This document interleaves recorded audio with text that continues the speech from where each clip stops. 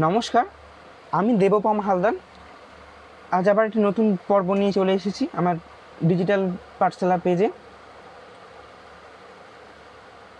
এই পেজটিতে মূলত আমি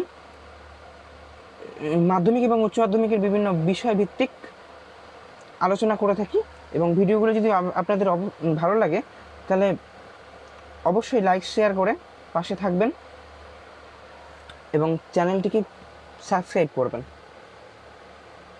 ধন্যবাদ।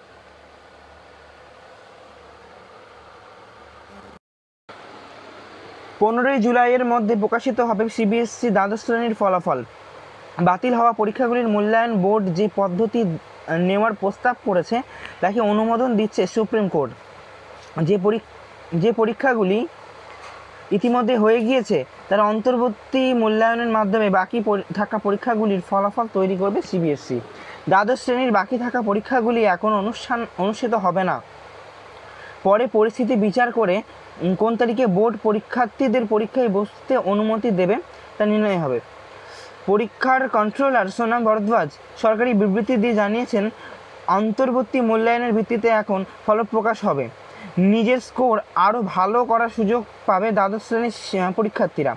পরে পরিস্থিতি ভালো হলে পরীক্ষায় বসতে পারে তারা। যে ছাত্রছাত্রীরা পরীক্ষায় বসে সিদ্ধান্ত নেবে, তাদের সেই পরীক্ষার ফলই চূড়ান্ত স্কোর হিসেবে ধরা হবে। তিনি আরও জানান, তবে দশম শ্রেণির পরীক্ষার্থীরা তাদের স্কোর বাড়ানোর সুযোগ পাবে না। বোর্ড তাদের যে ফল প্রকাশ করবে, সেটাই চূড়ান্ত হিসেবে গৃহীত হবে। আইসিএসসি বোর্ড আইসিএসসি বোর্ড ও সিবিএসসির পদ, পথেই হাঁটবে বলে আদালত জানিয়েছে। তাদের আইনজীবী জয়দীপ গুপ্তা জানান, সিবিএসসির অ্যাফিডেভিট দেখেছি। আমাদেরটাও প্রায় একই রকম। তবে আমাদের গড় নম্বর দেওয়ার ফর্মুলা সিবিএসসির মতো নয়। তো এই প্রতিবেদনটি থেকে আমরা বুঝতে পারছি যে পনেরোই জুলাইয়ের মধ্যে সিবিএসসির মাধ্যমিকের ফল প্রকাশ হয়ে যাবে। কিন্তু উচ্চ মাধ্যমিকের, উচ্চ মাধ্যমিক উচ্চ মাধ্যমিক পরীক্ষা এখনই হচ্ছে না। মোটামুটি কোভিড পরিস্থিতি, মোটামুটি মোকাবিলা হওয়ার পরেই মূলত এইচএস পরীক্ষাটা হবে।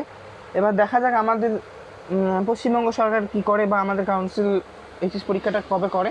তো এই সংক্রান্ত যা তথ্য আমরা পাবো, ইতিমধ্যেই আমরা তা চ্যানেলে আপডেট আপডেট আপডেট দেবো।